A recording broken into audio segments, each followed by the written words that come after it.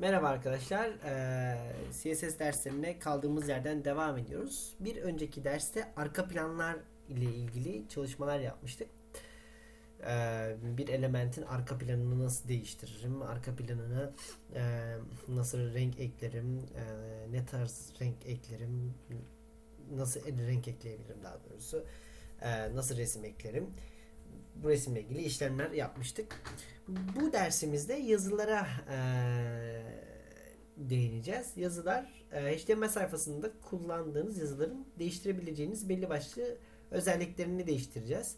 Değiştirebilir yazılar dediğimiz zaman onları içeriyor. Nedir? Renk e, değişimi, hizalama, kalınlık, incelik gibi vesaire bu tarz işlemleri yapacağız. Zaten şu ana kadar neredeyse e, rengini de hizalamasını da hizalama yapmadık daha doğrusu rengini değiştirdik hatırlayacaksınız. Neyse ben yazılar diye bir klasör oluşturdum. Klasörümüzün içerisine bir tane hemen HTML dosyası oluşturuyorum. Diyorum ki buna yazılar dedim. HTML sayfam artık hazır. Ee, yazılar diyeyim. CSS yazılar dedim. Ve bir tane ne oluşturacağım? Stil dosyası oluşturacağım. Buna da stil diyelim. Stil. Çünkü klasör klasör ayıracağım için artık stil dosyası diyebilirim. Geliyorum. Diyorum ki bu e, yazısını değiştirmek istediğim elementi yazıyorum. İlk olarak P. Bir tane P, yap P yapıyorum. Yazısı yazısı değişecek olan element dedim. Ee, hemen şunu bir çalıştıralım bakalım. Opening browser Google Chrome diyelim. Kendisi şurada sol tarafta alakası bir yerde açıldı. Evet. Bu da bir önceki dersimizde. Yazı değişecek olan element dedik. Ee, tamam. Bu arada diğer, diğer monitörde ben maç da izliyorum aynı anda.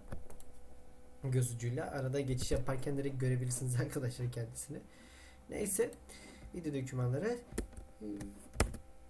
burada basit bir şekilde gözüküyor. Tamam. Hoş. Devam edelim. Şimdi ilk göreceğimiz komut yazının rengini değiştirme. CSS dosyasına geliyorum.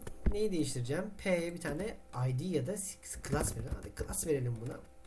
Diyelim ki buna ee, renk diyelim. Geliyorum diyorum ki bir tane standart bir renk diye klasım olacak. Noktayla başlıyorum. Çünkü class tanımlaması yapıyorum. Renk. Rengin değerini de değerini değerini buraya yazacağım. Mesela diyelim bunun rengi color'ı blue olsun. Geçiyorum. Hop değişmedi. Neden? Var mı fikri olan? Bir hemen kendiniz içinizde düşünün. Ben hemen cevabını veriyorum. CSS dosyasını oluşturduk ama ben bunu tanımlamadım. Tanımlamak için ne yapıyordum? Link etiketini açıyorum ve href diyorum. href sonra stil dosyasını dosyama dahil ediyorum. Şimdi yenilediğim zaman bakın bu sefer rengi mavi yaptı. Yazı rengini mavi yaptı. Güzel. Şimdi hatırlayacaksınız background tanımlaması yaparken şurada background tanımlamaları yaparken birden fazla mesela bu şekilde, bu şekilde, bu şekilde tanımlamalar yapabiliyorduk. Birçoğu bunun için de geçerli tabii ki de. Color'ı şu şekilde de yazabilirim ben. Diyez ee, mesela 666 şeklinde de yazabilirim. Bu sefer bunu alacaktır tabii en son hangisi yazıldıysa. Gördüğünüz gibi 666 oldu. Re rengi değişti kendisinden. Devam ediyorum. Color diyebilirim. E, RGB diyebilirim. Burada işte e, şu virgül şu virgül şu dersem bu sefer yazım rengini yine farklı bir renk yaptım.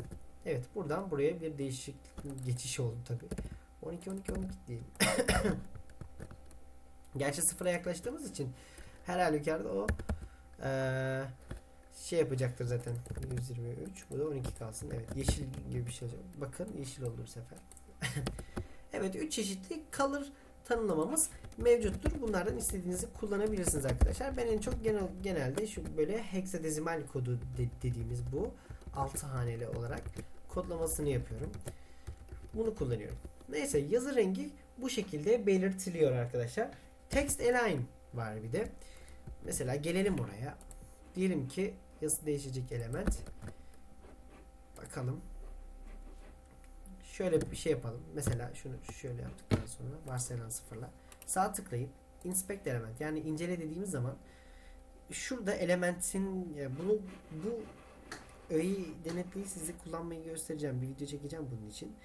Üzerine geldiğinde bakın arkadaşlar. Mavi olan şerit benim elementimin şu an sayfada kapladığı yer. Mavi boydan boya. Ve şurada bir tane açılan şey var. Mesela P nokta renk diyor. Sarı e, şurada hemen şurada açılıyor bakın. E, orada 1350 piksel çarpı 18 piksel diyor. Orada 1350 piksel onun boyutu yani genişliği 18 pikselde yüksekliğini belirtiyor. Şimdi e, boyutunu gördük. Hizalamayı göreceğiz. O yüzden bunu söyledim. E, diyorum ki renk klasına sahip olan elementin alacağı değerleri burada tanımlamaya devam ediyorum. Text align. Hatırlayacaksınız biz align diye bir tane komut e, attribute biliyorduk. Align left, right, center'ı alabiliyordu. Aynı şey burada da geçerli. Bir de justify var. Left şu an varsayılan olarak duruyor. Right dedim. Çalıştırdığım zaman bakın buraya geçti. Yazısı değişti çünkü şurada color geldi. Center diyelim. Right dedik. Center diyelim. En son komut devreye alınacak. Hop ortada. Ee, bir tane daha komut ekleyelim. Buna da diyelim ki left tekrardan sola çekecek. Bir tane daha ekleyelim. Justify diyelim. Bu sefer iki yana yaslama yaptı aslında. Yani düzgün bir şekilde gözüküyor. Şu şekilde göstereyim size bunu. Nasıl, ne demek olduğunu. Bunun sonunda bir tane Loren deyip taba basarsak çok satırlı bir şey olacak. Aslında bir tane daha Loren diyelim. Loren tab. Loren tab. Evet. Yenilediğimde bakın düzgün bir şekilde iki tarafta düzgün bir şekilde oldu. Şimdi left right'ı genel, genel olarak tekrarlayacak olursak mesela şunları alayım şuradan. Right. Sağa dayalı. Geri gidelim. Center. Sola dayalı. Pardon ortalı. Özür dilerim. Left. Sola dayalı. Ve justify. Ortalı. Gördüğünüz gibi. Bu bu işe yarıyor. Şimdi devam edelim. Text decoration var. Bunun için bunun için en iyi örneği A etiketiyle yaparız. Bir tane A etiketi verelim. Herhangi bir yere gitmesin. Diyelim ki ee, detaylar için tıklayınız diyelim mesela. Sayfayı yenilediğimizde şurada detaylar için tıklayınız diyor. Bakın mavi renkte birincisi kendisi zaten link olduğundan dolayı şunun rengini değiştireyim. Kırmızı yapayım ki diğeriyle karışmasın. Red olsun bu. Evet. Mavi renkte kendisi zaten ve altında bir çizgi var. Değil mi? Mesela tıkladıktan sonra da mesela mor oluyor. Yani yaklaşırsak şöyle. Şöyle tıkladıktan sonra da mor oluyor. Buna tıkladığınızı gösteriyor. Şimdi mesela bazen e, görüyoruz mesela bu da bir link aslında tıkladığım yani şu açtığımız zaman şu da bir link mesela gibi düşünebiliriz. Ben bunun alt çizgisini kaldırmak istiyorum. İşte bir elementin alt çizgisini kaldırmak istiyorsak text decoration tabi neyi seçeceğiz? İlk olarak A'yı seçeceğiz. Geliyorum şuraya. A diyorum. Herhangi bir şey vermedim. Sayfadaki bütün A'ları etkileyecektir bu. A diyorum. Text decoration none diyorum. None dersem altındaki çizgiyi kaldırır arkadaşlar. Gördüğünüz gibi. Ve mesela şimdi başlangıçta şu, şunu değil de başka bir şey vereyim. Linke gittiğim diye gittiğimi söylüyor. Peki index.html diye sallayalım. Mavi oldu tekrardan tıklamadığım için. Buna bir tane renk vereceğiz. Renk verelim gelin siz, sizle beraber buna. Neydi bunun rengini değiştirmek için kullandığımız komut? Color'dı. Color dedim. ds f0 f0 f0 değil pardon. f00 olsun. Kırmızı olsun. Mesela. Tabii yukarıdaki de kırmızı olunca bu daha da kötü oluyor. Yukarıdakinin değerini tamam değiştirelim bu sefer. Brown olsun bu sefer de. Brown. Kahverengi. Evet. Gördüğünüz gibi detaylar için tıklayınız. Bu sefer kendi rengi değişmiş oldu. Tabi buna bulunmadı. Sayfayı yenilediğimde bakın bu sefer mor olmuyor. Değişmedi rengi. Çünkü ben bir tane sayfada bunu tanımlamaya yaptıysam o artık sabit şekilde kalır. Gö ee, genel olarak text decoration bunlar bu tanımlamalar için kullanılıyor. Diğer komutumuz e, text transform komutu arkadaşlar. Text transform komutu yazıda değişiklik yapmak için kullanılır. Şöyle hemen yine şuradan yapmak örnek vermek istiyorum şuradan. Yine başka bir tane daha P yapalım. Ona da diyelim ki P hatta bunu da şey diyelim trans diyelim. Trans diyelim ona da. Ee, lorem şöyle yapalım. Yenileyelim. Geldi aşağıya. Şurada. Yazılı renkleri farklı. Çünkü neden?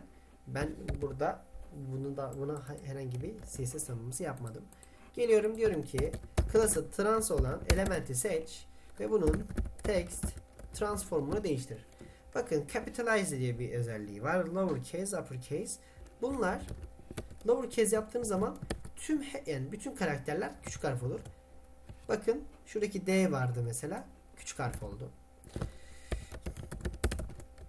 Uppercase yapalım. Uppercase hepsini büyük harf yapar. Gördüğünüz gibi.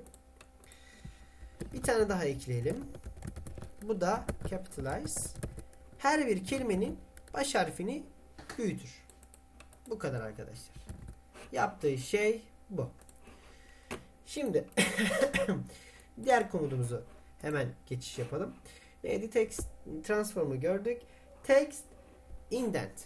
Text indent genelde paragraflarla beraber bulunur. Paragrafın ilk başında ilk cümlenin ilk e, yani başlangıcına boşluk bırakmak için kullanılır.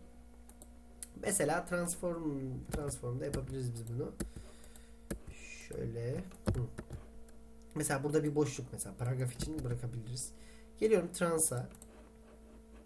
Diyorum ki text indent. Buna diyorum ki işte burada değer istediğim kadar verebilirim. 50 piksel bir değer ver dedim. Yenilediğimde bakın şu kadar içeriden başladı. Bunu ayarlayabilirim. Mesela normal genişliğin %10'u diyebilirim mesela. İşte mesela daha da büyüdü. Bu şekilde tanımlamalar mevcut. Bunları daha da ileride yapacağız zaten detaylı şekilde. Text indent. Bu işe yarar arkadaşlar. bir iki tane daha komut göstereyim hemen. Dersi 15 dakikaya bir tamamlayalım. Bunları biraz yavaş geçiyorum. Bilerek e, göre, göre göre gidelim diye. Şöyle yapalım. Evet güzel. Şu 50 pikseldi. Şunu yenileyelim. Yani geri gelsin. Diğer komutumuz line height yani satır yüksekliği denen bir komuttur. Bunu da şunun üzerinde yapalım. Neydi o? Renk kodundaydı. Diyorum ki line height satır yüksekliği. Her bir satırın ne kadar yükseklik alacağını belirtir. Dersiniz mesela siz burada 20 piksel olsun her biri. Boyutundan 20 piksel hepsini gördüğünüz gibi aşağı doğru itti. Devam edelim. 25 piksel diyelim. Biraz daha etti. Satır aralarını açmaya başlıyor. 35 piksel dediğimiz zaman mesela çok büyük olacak bu sefer. Hop, böyle. Diğer bir komuta geçelim. Yani bunlar genel olarak boşluk bırakma ile ilgili olacak. İki tane daha gelecek çünkü böyle komutlar. Diğeri de letter spacing. Bu da harfler arasındaki boşluk. Mesela hepsine 5 piksellik boşluk bırakırsak her harfin böyle bir görüntü elde edersiniz. Mesela. Bu bu şekilde kalsın. Ee, kaldırırsanız tabi normal hale gelecektir. Buna verelim bu sefer. Kelimelerin arasındaki boşlukları kaldıralım. Gelelim şuraya. Diyorum ki bu sefer word spacing. Buna da diyorum mesela 10 piksel. Hepsinin arasında 10 piksel boşluk bırak. Bakın bu sefer şuradaki boşluklardan 10 pikseli vermeye başladı. 20 verelim mesela. Daha da açılsın araları gibi. 30 piksel verelim mesela. Böyle açılsın. Evet. Evet arkadaşlar bu dersimizde birçok özellik gördük aslında. Text aligning, color, line height'i, letter spacing'i, text decoration, text transform, text indent, word spacing'i gördük. Genel olarak font yazıları yani yazılar üzerinde değişiklik yapmayı, bunların boyutlarıyla oynamayı üzerinde oynama ile ilgili çalışmalar yaptık. evet bir sonraki derste görüşmek üzere arkadaşlar. Kendinize iyi bakın. Hoşçakalın.